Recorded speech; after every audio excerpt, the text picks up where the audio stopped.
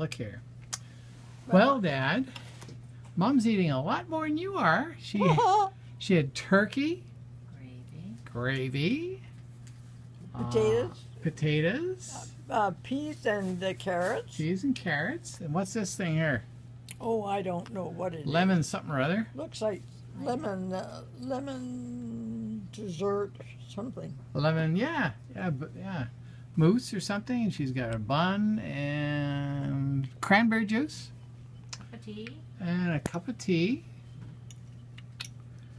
Yeah, yeah, yeah. So she's got lots of stuff here. Let's see for lunch what she had.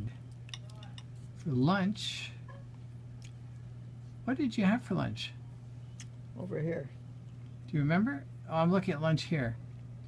Uh, what's a milk? Okay, milker, sugar, salt, pepper, margarine, creamy coleslaw, cracker. Oh, yeah, vegetable soup. Does that sound right? And beef and macaroni. Oh, that sounds yummy. Yeah.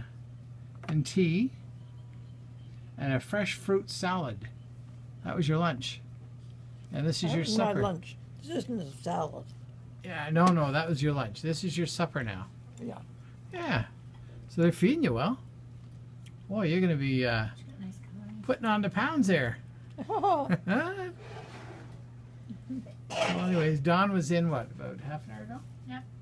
Yeah, just to see how things are going. And Mom's got a TV. Say hi to Dad.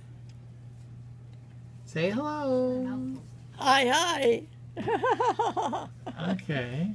There's your TV up there, so we're going to make sure that that's all turned on and everything. So anyway, I just wanted Dad to see that you're having uh, that they were weren't starving you here, right? They're feeding you real regularly, aren't they? Feeding you a lot of food.